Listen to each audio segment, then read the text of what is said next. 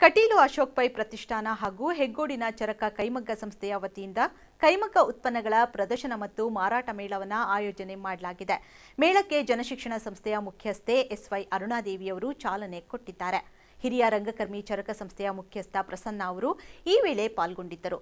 November ಎರಡರವರೆಗೆ ಮಾರಾಟ ಮತ್ತು ವಸ್ತು ಪ್ರದರ್ಶನ ನಡೆಯಲಿದೆ.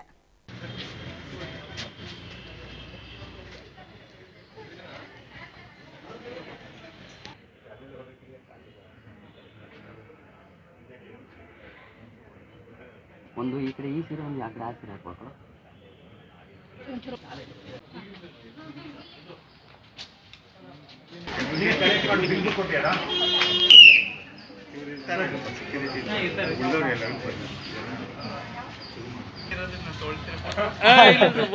ಬಟ್ಟೆ ತಾಳೆ ಅಂತ ಸರ್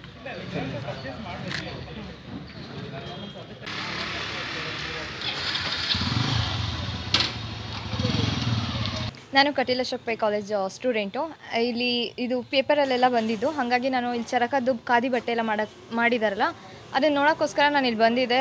ಸುಮಾರು ಚೆನ್ನಾಗಿದ್ದಾವೆ ಬಟ್ಟೆ ಕ್ಲಾತ್ಸ್ ಎಲ್ಲ ಚೆನ್ನಾಗಿದ್ದಾವೆ ಮತ್ತು ಬುಕ್ಸ್ ಎಲ್ಲ ಇದ್ದಾವೆ ತುಂಬ ಪರ್ಚೇಸ್ ಮಾಡಬೇಕು ಅಂದ್ಕೊಂಡಿದ್ದೀವಿ ವೆರೈಟಿಗಳಂದರೆ ಇಲ್ಲಿ ಜುಬ್ಬ ಇದ್ದಾವೆ ಮಾಸ್ಕು ಇದ್ದಾವೆ ಈಗ ಸ, ಕುರ್ತಾ ಬ್ಯಾಗ್ಸು ಬ್ಯಾಗ್ಸು ಕುರ್ತಾ ಅವೆಲ್ಲ ತುಂಬ ಚೆನ್ನಾಗಿದ್ದಾವೆ ಆ್ಯಕ್ಚುಲಿ ಹಾಂ ಚಾಪೆ ಇದ್ದಾವೆ ಪುಟ್ಟಿ ಇದ್ದಾವೆ ಮೊರ, ಮತ್ತು ಪೊರ್ಕೆ ಎಲ್ಲ ತಂದಿದ್ದಾರೆ ಮಾಡಿದ್ದಾರೆ.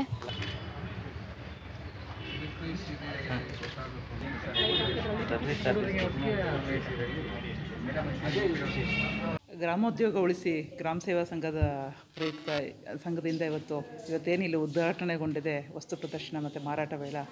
ವಿಶೇಷವಾಗಿ ಕೈಯಿಂದ ನೇದಂಥ ಬಟ್ಟೆಗಳು, ಬಹುಶಃ ಇವತ್ತು ಗಾಂಧೀಜಿಯವ್ರನ್ನ ನೆನಪಿಸ್ಕೋಬೇಕು. ಇವತ್ತು ಏಕೀಕರಣ ಸರ್ದಾರ್ ವಲ್ಲಭಾಯ್ ಪಟೇಲ್ ಅವರ ಕೂಡ ಜನ್ಮದಿನ ಆದ್ದರಿಂದ ತುಂಬ ವಿಶೇಷವಾದ ದಿನ ಇವತ್ತು ಕಾರ್ಯಕ್ರಮವನ್ನು ಇಲ್ಲಿ ಆಯೋಜನೆ ಮಾಡಿದ್ದಾರೆ ಅಂತ ಅಂದ್ಕೊಳ್ತೇನೆ ಇಲ್ಲಿ ವಸ್ತ್ರಗಳನ್ನು ನೋಡಿದಾಗ ಅಂದ್ಕೊಂಡೆ ನಾವು ಖಂಡಿತವಾಗಿ ಕೈ, ಗ್ರಾಮದಲ್ಲಿ ನೇಯ್ದಂಥ ಬಟ್ಟೆಗಳನ್ನು ನಾವೆಲ್ಲರೂ ಬಳಸಬೇಕು. ಇಲ್ಲಿ ಇಟ್ಟಿರೋ ಬಟ್ಟೆಗಳು ಬಹುಶಃ ಬೆಂಗಳೂರಿನಲ್ಲಿ ಕಮರ್ಷಿಯಲ್ ಸ್ಟ್ರೀಟಲ್ಲಿ ಇಲ್ಲಿ ಒಂದು ಮೀಟ್ರಿಗೆ ನಾವೆಲ್ಲೋ ಇನ್ನೂರೈವತ್ತು ರೂಪಾಯಿ ಕೊಡ್ತೇವೆ ಅಂತಂದರೆ ಅಲ್ಲಿ ಸಾವಿರದ ಇನ್ನೂರು ರೂಪಾಯಿ ಕೊಡ್ತೇವೆ ಕಣ್ಣು ಮುಚ್ಕೊಂಡು ಕೊಡ್ತೇವೆ.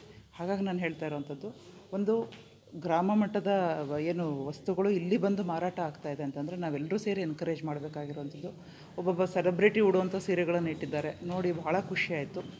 ಗ್ರಾಮದ, ನನ್ಗೆ, ನಾನು ಅಂದ್ಕೊಳ್ಳೋವಂಥದ್ದು ನಮ್ಮ ಗ್ರಾಮಸ್ಥರಿಗೆ ಇವತ್ತೇನು ಇಷ್ಟೊಂದು ಒಳ್ಳೆ ಪ್ರಾಡಕ್ಟ್ಸ್ಗಳನ್ನ ಮಾಡಿ ಕಳಿಸ್ತಾ ಇದ್ದಾರೆ, ಅವರಿಗೆ ಈ ಮಾಡರ್ನ್ ಪ್ರಿಂಟ್ಸ್ಗಳ ಬಗ್ಗೆ ಒಂದಷ್ಟು ಇನ್ನೂ ಅವೇರ್ನೆಸ್ಸನ್ನು ಕೊಟ್ಟು ಹೇಗೆ ಗ್ಲೋಬಲ್ ಲೆವೆಲ್ಗೆ ಮಾರ್ಕೆಟ್ ಮಾಡಬೇಕು ಅನ್ನೋ ಒಂದು ಮನಸ್ಥಿತಿಯನ್ನು ಬೆಳೆಸುವಂಥದ್ದನ್ನು ಮಾಡಬೇಕು. ಬಹುಶಃ ನಾವೇನು ಅವ್ರಿಗೆ ಫೇವರ್ ಮಾಡ್ತೀವಿ, ಇದನ್ನು ಪರ್ಚೇಸ್ ಮಾಡಿ ಅನ್ನೋ- ಅನ್ನೋದಿಲ್ಲ ನಾನು. ಒಂದು ರೀತಿ ಚಿನ್ನ ಇದ್ದ ಹಾಗೆ. ಇವತ್ತು ನಮಗೆ ಒಳ್ಳೆ ಹತ್ತಿ ಸಿಗ್ತಾ ಇಲ್ಲ. ಆ ಹತ್ತಿಯಿಂದ ಮಾಡಿದಂಥ ಬಟ್ಟೆಗಳನ್ನು ನಾವು ಇವತ್ತು ಬಳಸುವಂಥದ್ದು ನಮ್ಮ ಪುಣ್ಯ. ಮುಂದಿನ ಜನ್ರೇಷನ್ಗೆ ಇದು ಸಿಗುತ್ತೋ? ನಾವು ಇದನ್ನು ಉಳಿಸಿ ಬೆಳೆಸಬೇಕಾಗಿರೋದು ಪ್ರತಿಯೊಬ್ಬನ ಜವಾಬ್ದಾರಿ, ಪ್ರತಿಯೊಬ್ಬನ ಕರ್ತವ್ಯ ಅನ್ನುವಂಥದ್ದು. ನಿಜವಾಗ್ಲೂ ನನಗೆ ಒಂದು ರೀತಿ ಒಂದು ಇನ್ಸ್ಪಿರೇಷನ್ ಇಂಥ ಒಂದು ಕಾರ್ಯಕ್ರಮಗಳು ಬಂದಾಗ ನಾನು ಅಂದ್ಕೊಳ್ತೇವೆ ನಮ್ಮ ಪೇಷಂಟ್ಸಿಗೆ ರೋಗಿಗಳಿಗೆ ಇದರಲ್ಲಿ ಯಾವ ಹಂತದಲ್ಲಿ ನಾವು ಇಂಟ್ರೊಡ್ಯೂಸ್ ಮಾಡ್ಬೋದು, ಅವರಿಗೆ ಯಾವ ರೀತಿಯಲ್ಲಿ ಅದು ಸಹಕಾರ ಮಾಡ್ಬೋದು ಅಂತ ನೋಡಿದಾಗ ಚರ್ಕದ್ದು ಒಂದು ಹಾಗೂ ಕೈಮಗ್ಗದ್ದು ಪಾರ್ಟು ವಾರ್ಪು ವಾ ವೆಫ್ಟ್ ಎಲ್ಲ ಸ್ವಲ್ಪ ಕಾಂಪ್ಲಿಕೇಟೆಡ್ ಆಗುತ್ತೆ ಅವರಿಗೆ. ಒಂದು ಮೂರು ತಿಂಗಳಲ್ಲಿ ಅವರು ಅರ್ಥ ಮಾಡ್ಕೊಂಬಿಟ್ಟು ಅದು ಅನ್ವರ್ಸೋಕ್ಕಾಗೋದಿಲ್ಲ. ಆದರೆ ಚರ್ಕ ಮತ್ತು ಕೈಮಗ್ಗದಲ್ಲಿ ಕೂತಿದ್ದವರು ಅಷ್ಟೋ ಜನ ಮಾನಸಿಕವಾಗಿ ಎಷ್ಟೋ ಬೇಗನೆ ಗುಣ ಆಗಿದ್ದಾರೆ. ಮಾತ್ರೆ ಸಹ ಬೇಗ ಕಮ್ಮಿ ಆಗಿದೆ. ಇದನ್ನು ಒಂದು ಥೆರಪ್ಯೂಟಿಕ್ ಪ್ರೊಸೀಜರ್ ಅಂತ ನಾವು ಇಂಟ್ರೊಡ್ಯೂಸ್ ಮಾಡಬೇಕು ಅಂತಲೇ ಪ್ರಸನ್ನ ಅವರಿಗೆ ಹೇಳಿದ್ವಿ. ಈಗ ಅದರಲ್ಲಿ ಇನ್ನೂ ಹೆಚ್ಚು ಮಾರ್ಗದರ್ಶನ ಮಾಡ್ತೀನಿ ಅಂತ ಹೇಳಿದ್ದಾರೆ. ಈ ಕರೋನಾ ಟೈಮಲ್ಲಿ ನಮಗೆ ಕೈಮಗ್ಗ ನಿಲ್ಲಿಸ್ಬೇಕಾಯಿತು ಏಳು ಕೈಮಗ್ಗ ಇದೆ ನಮ್ಮ ಪುನಶ್ಚೇತನ ಕೇಂದ್ರದಲ್ಲಿ. ಸದ್ಯಕ್ಕೆ ನಾವು ನಮ್ಮ ಆಸ್ಪತ್ರೆಗೆ ಬೇಕಿರುವಂಥ ಬೆಡ್ಶೀಟ್ಸು ಹಾಗೂ ತಲೆ ತಲೆ ಒರೆಸೋವಂಥದ್ದು ಟವೆಲ್ಲು ನಮ್ಮ ಆಸ್ಪತ್ರೆಯಲ್ಲಿ ಇ ಜಿ ಅಂತ ಎಲೆಕ್ಟ್ರೋಎನ್ಸೆಫ್ಲೋಗ್ರಾಮ್ ಅನ್ನೋದು ಒಂದು ಇನ್ವೆಸ್ಟಿಗೇಟಿವ್ ಪ್ರೊಸೀಜರ್ ಮಾಡ್ತೀವಿ. ಇಷ್ಟು ದಿನ ನಾವು ಗ್ರಾಮೋದ್ಯೋಗವನ್ನು ಒಂದು ಪವಿತ್ರ ಸಂಕೇತವಾಗಿ ಮಾತ್ರ ಗ್ರಹಿಸ್ತಾ ಇದ್ವಿ. ಇನ್ನು ಮುಂದೆ ಇದೇ ನಮ್ಮ ನಾಳಿನ ಉದ್ದಿಮೆ.